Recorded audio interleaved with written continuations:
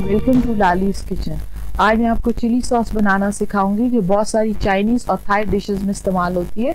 मेरी वीडियो को लाइक करें और चैनल को सब्सक्राइब करें ताकि मैं आपके लिए लाती रहूँ मज़ेदार रेसिपीज़ अस्सलाम वालेकुम। आज मैं आपको चिली सॉस बनाना सिखा रही हूँ। जो बहुत सारी चाइनीज़ और थाई डिशेस में यूज़ होती है, जिसके लिए आपको चाहिए चिलीज मतलब साबुत लाल मिर्च हाफ़ कप सिरका चाहिए हमें four tablespoon tomato sauce भी टू टेबल स्पून चीनी थ्री टेबल स्पून नमक वन टीस्पून और ये जो मिर्चें हैं, इनको मैंने कपड़े से साफ़ किया लेकिन हम इनको फिर भी धोएँगे और एक कप पानी चाहिए इनको सब चीज़ों को पकाएँगे।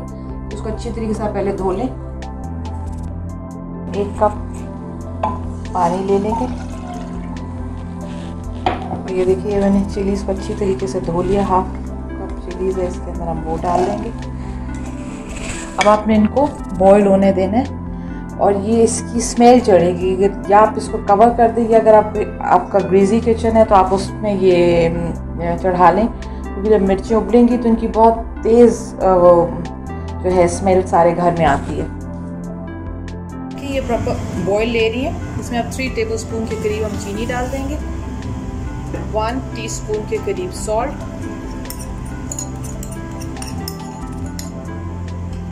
विनेगर जो है फोर टेबल स्पून के करीब है। और कैचअप अभी हम इसमें बिल्कुल एंड में डालेंगे। जब हम इसको अभी ये ज़रा और बॉईल हुए तो फिर हम इसको ब्लेंड में डाल के आपने अच्छी तरीके से ब्लेंड कर लेना और ये आप बना के फ्रीज़ भी कर सकते हैं एज एंड वैन रिक्वायर्ड के हिसाब से। ये अब देखें कि ये इसका पानी खुश्क हो गया आप इनकी फॉर्म से आपको अंदाज़ा हो रहा होगा, ये बॉईल होने के बाद, और ये अब सॉफ्ट हो गई हैं। ये आसानी से अब स्पून से। अभी थोड़ा सा पानी अब मैं उसको अब, ये बिल्कुल आपने लो फ्लेम पे पकाना है। अब मैं इसको ब्लेंडर में डाल के इसकी पेस्ट बनाऊँगी और फिर इसको दोबारा हम इस पैन में डाल के इसको हल्का सा थिक करेंगे। ये मैं इसके अंदर ऐड कर दूँगी सारा, ताकि ये मैं फिर इसको ब्लेंड करके आपको दिखाती हूँ।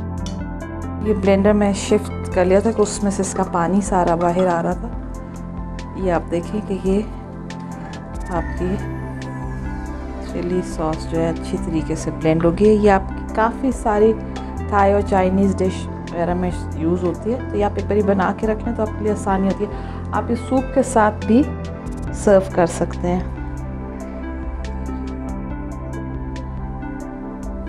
ये प्रॉपर इसको मैं थोड़ा सा और गर्म कर लूँगी। और अब मैं इसके अंदर ये कैचअप ऐड करूँगी, जो है अप्रॉक्सीमेटली टू टेबल स्पून आप इसके बाद इसको फ्रीज़ भी कर सकते हैं। या फ्रिज में रखना चाहें तो वो भी रख सकते हैं आप। इसको हल्का से, पिज़्ज़ा सिमर करने लग जाए तो फिर मैं इसको आपको निकाल के दिखाती हूँ। ये आप देख रहे हैं। ये मैंने आपको दिखा दूँ। परफेक्ट आपकी चिली सॉस रेडी है। का कुकिंग टाइम अगर आपके एक कप से पानी कम भी हो जाए तो आप और भी डाल सकते हैं, कोई इसमें इशू नहीं है। परफेक्ट चिली सॉस रेडी है। आप सूप वगैरह के साथ सब साथ आप सर्व कर सकते हैं। अभी मैं इसमें डाल के ठंडा करके फिर मैं इसको फ्रीज़ कर लूँगी।